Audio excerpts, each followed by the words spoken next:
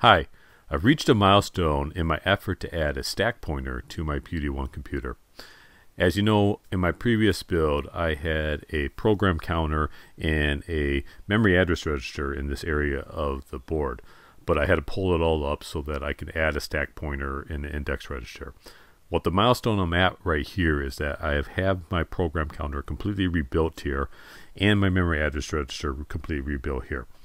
There are some new things that you'll see. For example, these chips here that are not connected to anything, these will be the stack pointer and index, register. I just haven't finished wiring them yet, but I don't need to yet in order to demonstrate that my program counter and memory address register work. The other new things you might notice is this stuff going on right here. These are LS uh, 74 LS 157 uh, line selectors. What I added this for is so that I could populate my program counter with input from either the data bus or the address bus, which is what you see right here. And then a control line controls which one is going to be inputted.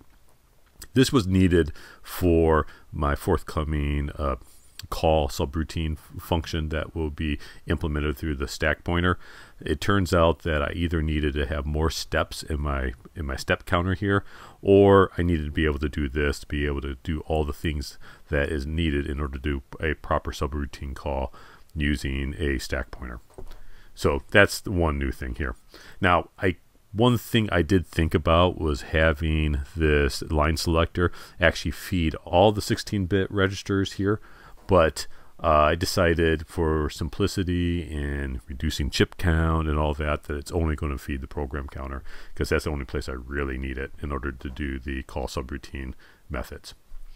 The other thing you'll notice here are the, all these chips where you have a 173 registers for an 8-bit register total and a bunch of adders.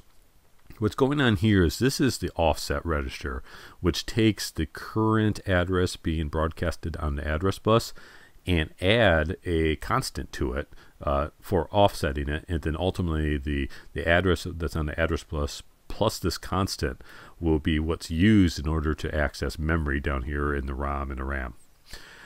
This is going to be used to be able to access um, things that are in the stack. So when I push a value in the stack, if I push multiple values in the stack and I want to access something that is lower in the stack than you know one of the older ones that I pushed on, I can use an offset register to reach it directly rather than having to pop all the values on top of it.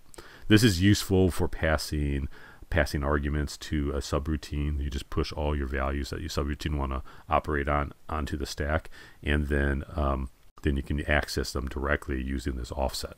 So that's what this is about. Right now, this is really doing nothing. The register here, you see there's no inputs coming into it, and the outputs are pulled low by this uh, resistor right here. So uh, for all the addresses that are currently being put on the address bus, all I'm doing is adding zero to it before it goes to the this finalized bus here. So it has no real effect right now. Uh, but when I add the stack pointer and index register, uh, the, this will also be wired up so that I can actually populate it with an offset and do what I just described. So let's see if it works. Let's uh, turn this on and see if all my wiring was correct. I'm going to put it in a program mode first before I turn it on and let's apply power. So looks like I got something. Let's uh, go ahead and generally reset the computer, put it into run mode, and uh, it looks like it didn't reset properly. So let's just try resetting it again.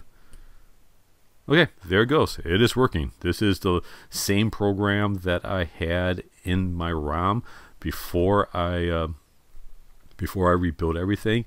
So the fact that it's working here demonstrates to me that all the wiring for the, the newly implemented program counter and the memory address register are working correctly. And the additional things like the line selector for the program counter and the address offset register are themselves working uh, as I would expect them given the fact they're not really in use right now. One thing you will note that is I'm starting to make more use of these custom built LED bar graphs. Um, the advantage of these things is I can pull this out and kind of show you here is that uh, they are single inline Um, with one of these pins being the ground pin, that gives you much more flexibility in where and how you place them compared to these uh, dual inline bar graphs, which have to take up on both sides of the bar graph. So you can see I can just place it in right here and it, it covers the wires, but it, it, it works just great. Um, in fact, it's a necessity for the uh, the compactness I needed to do for all the chips for these registers up here. So these uh, eight 8-bit uh, bar graphs are being used, two of them, in order to indicate the value either on the memory address register or the program counter here. So anyways, that's the status of my updated uh, PUTEY-1 computer. I should uh, be able to complete my stack register or stack pointer, excuse me, stack pointer and uh, index register soon, and uh, put together a comprehensive video describing all of the changes and uh, what I'm trying to accomplish here. Thank you.